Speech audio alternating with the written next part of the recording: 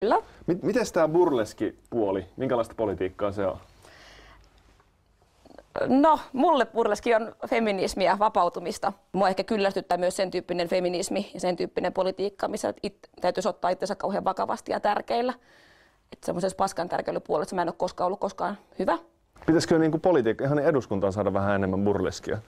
Siellä aika harvoin näkee täl- tällaisia kansanedustajia. No Jyrki Kasvilla on usein tota, sen puutakin alla aika hyviä teepaitoja. Et sieltä löytyy pinap. Jyrkihän käy kanssa burleskibileissä. Ai jaa. Ketä muita siellä käy? Käykö Matti Vanhanen? No, täytyy vetää, että toistaiseksi näyttää, että se on niin vihreiden harrastus toi burleski, että kaikki paheellisuus ilmeisesti sopii meille paremmin kuin muille. Että, niin, että tuskin mä voisin eduskuntaan kuitenkaan ihan näin mennä. No, en mä tiedä. Mä äänestäisin.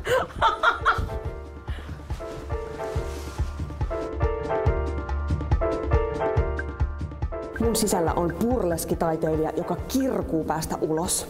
Burleski näyttää niin riemastuttavalta koktaililta musiikkia, tanssia ja biletystä. Mut sit siinä on se vaatteiden poisotto. En pysty. En pysty.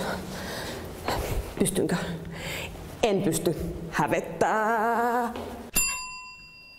Moikka! Koputtaa. Terve, tervetuloa. Sanna, moi. Oh, ihana paikka.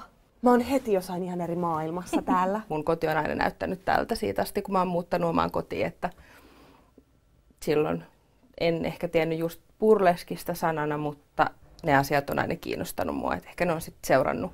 Mitä on burleski? Burleski on monta asiaa.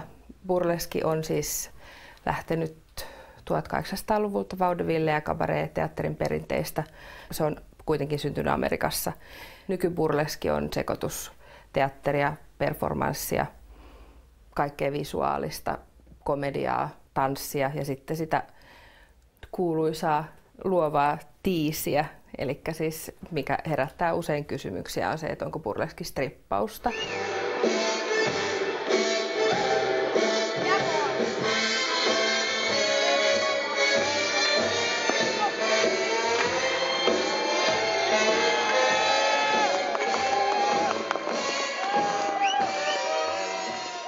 Siinä ei olla niin kuin pelkästään objektina kiihuttamassa toista osapuolta sillä vaatteiden vähenemisellä, vaan iloitaan omasta kehollisuudesta ja seksuaalisuudesta yhdessä yleisön kanssa. Ja koska burleski esiintyjä voi olla minkälainen tahansa, siis ikään kokoon sukupuoleen katsomatta, niin yleisö voi samaistua myös esiintyjään. Täällä on mun tuloillaan mun tota, seuraavan esiintymisen asu. Täällä on mä oon tällainen tota, egyptiläinen ö, käärme kuningatar. Mulla on kaksi haarem, haaremi poikaa siinä esityksessä kanssa mukana. Tää on mun vielä keskeneräinen päähineeni. Niin tää on iso osa, että te teette itse noin Aika monet asut. tekee itse joo. joo. Et tosi monet ompelee ja tosi monet on itse asiassa jollain visuaalisilla aloilla muutenkin teatterissa tai, tai taiteen parissa tai silleen. Uulala! Mulla ei ole ehkä ihan näihin sisältöä. Ai niin, on käärme jaloittava. Ja tota... Mut nää kävis mulla niinku rintaliiveistä. Joo. No, kaikki, kaikki on upeita. Kaikki me kaikki, upeita. siis Joo. eihän siinä tarvi olla todellakaan niinku mikään siis DD-kuppi, että siis kaiken kokoiset naiset ja miehet voi esiintyä, että se ei todellakaan ole mikään, ja siis kaiken ikäiset. Että... Mutta kato, mä rupean heti pingottamaan, että mä en kelpaa. Niin, mutta miksi? Miten, no, niin. Miten mistä mistä sä oot sen sit oppinut? Kato, miten tää menee. Televisiosta. Ja muut. Uh, uh. Aika upea. Onko sulla semmoinen kynnys ekan esityksen kanssa, että sua jotenkin hävetti tai että se oli... No kyllä mua niin kuin jännitti, mutta sitten toisaalta mä oon pohtinut tätä asiaa niin kauan. Niin kuin, mä oon kuitenkin aina ollut kiinnostunut naiseudesta ja ihmisoikeuksista ja silleen, että mikä, mikä mun mielestä on tärkeää siis tässä muutenkin kuin vaan se, että mitä mä kehtaan, niin mä toisaalta, mä en ole ehkä,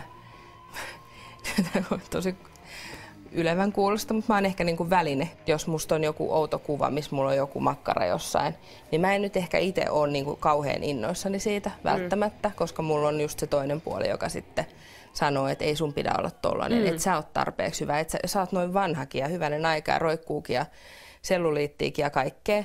Mutta siis sitten mä ajattelin, että no niin kuin hitto, että jos mä en tee sitä, niin kuinka kauan niin tämä jatkuu tämä juttu. Koko ihmiskuva teollistuu valtavasti koko ajan. Että jos ei sille tule mitään vastavoimaa, niin ei se lopu ollenkaan.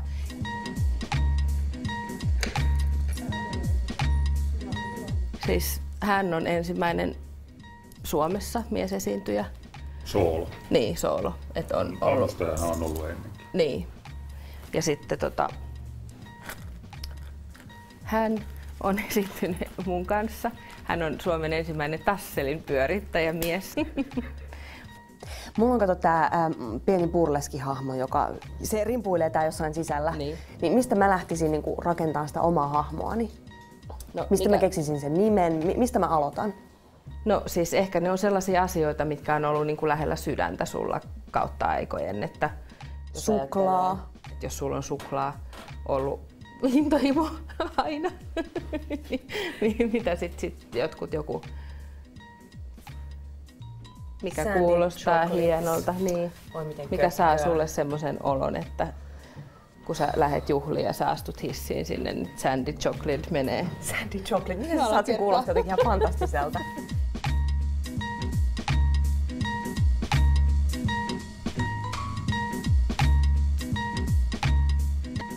että ihmisillä on niin käsittämättömiä kummallisuuksia omissa kehoissaan, mitä, mitä kuljetaan tuolla ja hävetään, että sitä ei voi edes ymmärtää. Niin. Et kukaan ulkopuolinen ei koskaan ole kiinnittänyt niihin huomioon ja oma elämä on mennyt suunnilleen pilalle.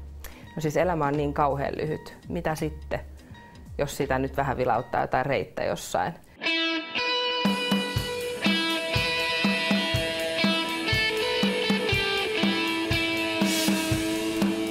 Mielestä melkein kun mä lähden liikkeelle, niin te voitte laskea, että se on vaan taustana sille.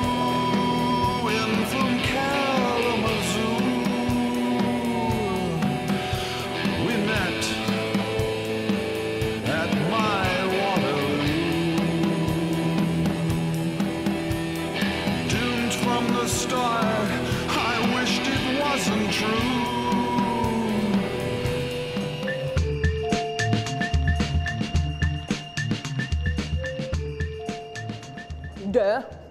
Ootko koskaan kattonut sitä Stradaa? No en Todd, tyyli lol. Eipä, vähänkö se on nolo. Öö, miksi? Eipä Todd. Ethän sä ois kattonut sitä. Dö. No kyllä mä sen kerran katoin. Roll on the motherfucking floor, nolo tyyli, huhu. Vähänkö se on hyvä. Meitsi on ihan, että lol, lol, lol. Vähänkö se puopolo on ihku. Ah! Parteja kaikkea. Ah! OMG, OMG. No tyyli niin nolo, se Stellan on niin lissu. Todellakin. huhu. Lissu, eipä, eipä. Ensi viikolla Stradassa. Suuria pakkomielteitä. Ja rikoskirjallisuuden isot nimet James Elroy ja Kari Häkämies. Kari fucking never heard häkämies. Kari on keski-ikäinen tyyli Häkämies. Todellakin, todellakin. Ai, mitään tekemistä. Dö. Hei, lähti mukaan peli huulipunaa. No en Todd, tyypillä on paita väärinpäin. Huhu, tyyli nolo. Eipä nolo, eipä vähän